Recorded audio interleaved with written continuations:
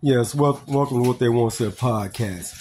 Giving you guys an update uh, on the Art- Victor Ortiz fight last night.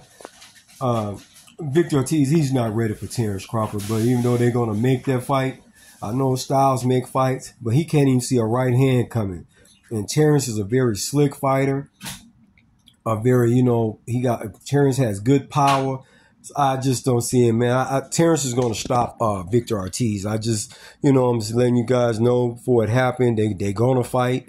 Um, but I don't think he has nothing to offer for Terrence. I think Terrence is going to stop him around about the seventh or the eighth round. I think Terrence just too much right hands, you know, uppercuts. Terrence, you know, he can't fight on the back foot, and you know, Terrence is going to Terrence can do all those things. I just think Terrence Crawford is just going to be too much for Victor Ortiz. I thank you guys for supporting me and continue to hit that subscribe button. Thank you and have a great day. Peace.